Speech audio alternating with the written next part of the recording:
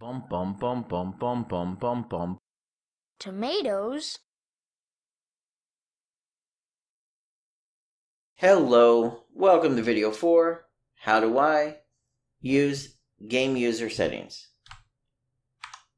Let's run through our quick little example here. Some things will work, some things will not work. And I'm going to cover why and cover in detail what we're doing. The game user settings lets me change some of the game user settings. Resolution, full screen or windowed, frames per second, as well as other options. We can create a menu like this where I could change the frames per second and apply, and the frames per second would change. So this lets me adjust the max FPS. I can do things such as adjusting the resolution. As you can see here, I'm windowed 1920 by 1080. I go down to something smaller, windowed, and hit apply. And I can do full screen as well, but with recording, full screen just causes heck in a handbasket. So looking at the game user settings and how to use it, it's pretty simple. Uh, let's spell event construct right. Let's fix that one. There we go. You're basically going to get the game user settings and apply the current settings when you start up your game. What that does is it goes through your game user settings ini file, which is in your config folder. Let me show you that here. In my example, it'll be under my project name, saved, config, and then Windows, which is my platform version. If you're inside of, let's say, a built version of a game, so this is my game itself, it'll be under the project name, under saved, config, then you have the version, which is Windows No Editor, and then you'll have your game user settings down here. So going back to our file itself, we find settings. These settings are set based on these nodes, and you can get them when you use the get game user settings node. And it's going to return back all of these settings in other individual nodes. These individual getters, which we have up here, get full screen mode, get anti-aliasing quality, get screen resolution. So when you start up, basically if you get the game user settings and apply settings, it's going to apply all the settings from this file. If this file doesn't exist, what it does is it creates a default file with default settings. And then it will apply them. Now after that, I'm doing a couple bits of busy work. I'm filling in our drop down box for the resolution. I'm creating a full screen and a windowed button. And then I'm filling out this drop down box for FPS. After that busy work, I'm just simply throwing up a stat command so we can see the FPS. So once you have everything on your screen, the next thing you want to do is do something with it. And that's pretty simple. Let's look at our full screen or windowed options.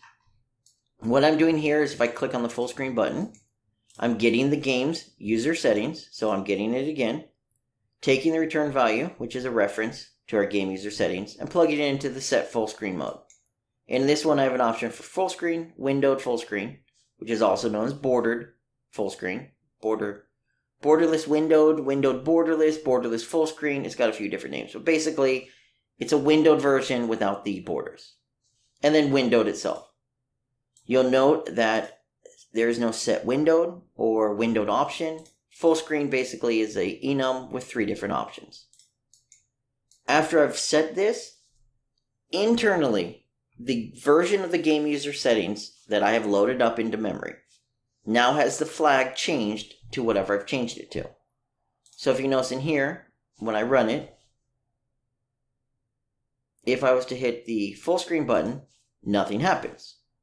If I hit the windowed button, nothing happens. However, internally, once I hit apply, it's going to take the version of the game user settings that I've changed and apply them to the current settings.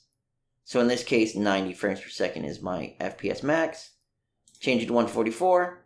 It's now adjusted it internally. When I hit apply, it now changes it to the actual game itself. And I'll show you that in a second.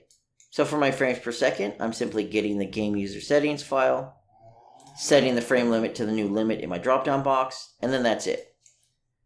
After you've changed any settings you want. Now you could have this happen in real time. You could have it where when they change an option, it happens in real time, and that's perfectly acceptable. Sometimes your player might want to change a group of options and it's easier to give them an apply button so you can easily undo it. If you wish to apply, it's pretty simple. You get your game user settings and you tell it to apply the settings. Now there are multiple apply nodes. You can see here we have apply settings, apply resolution settings, and apply non-resolution settings. There's also the hardware benchmark results, but that's different and covered in its own video. But basically, you have the ability to create changes to only affect the resolution, such as the resolution or full screen mode, as well as the non resolution settings, such as anti aliasing and post processing. In general, you can just apply settings itself. Now, each of these nodes is covered separately, and there are some differences. Applying these versions, the non and the resolution settings, only applies them to the game, but doesn't actually save your changes to the file. Apply settings applies them and saves them to whatever local storage. You can also go in and use the save settings node. As you can see, I'm doing both of them here. And it's going to go ahead and save them to persistent storage.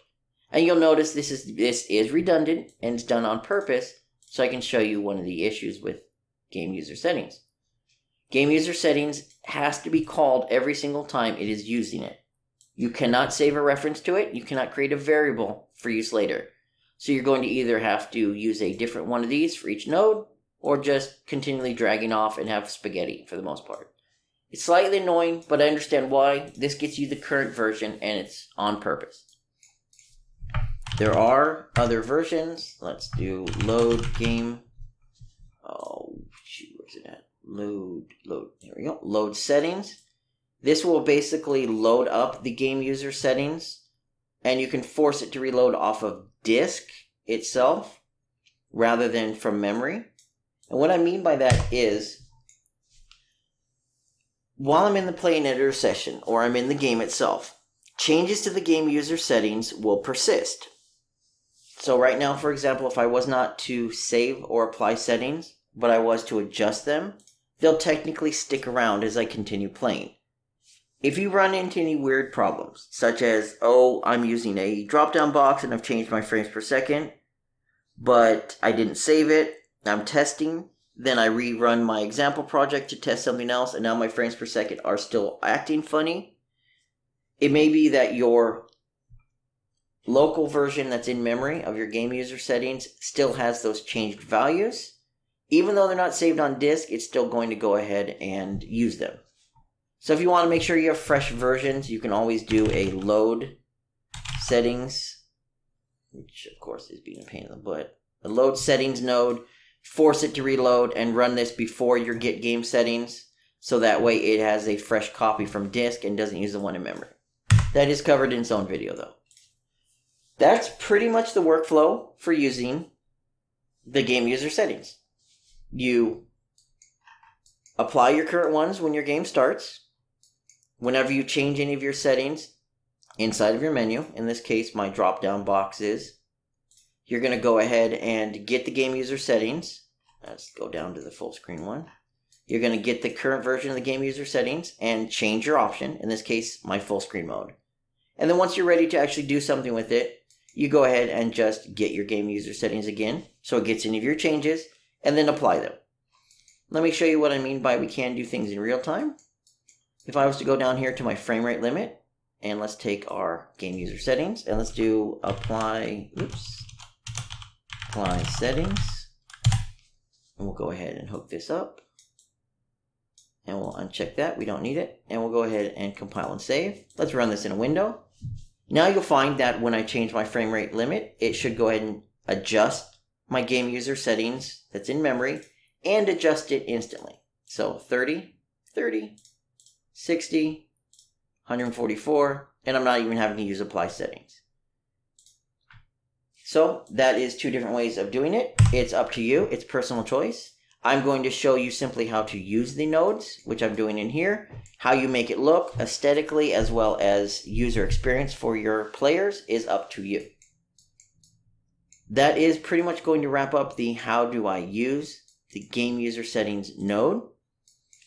Each of the individual nodes are covered separately.